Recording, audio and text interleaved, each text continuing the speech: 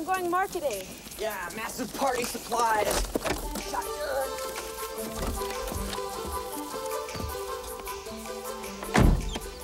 You're taking Mrs. Sturak's car? Zach, life goes on. I mean, come on, this car's a classic. I think that she'd want it this way, don't you?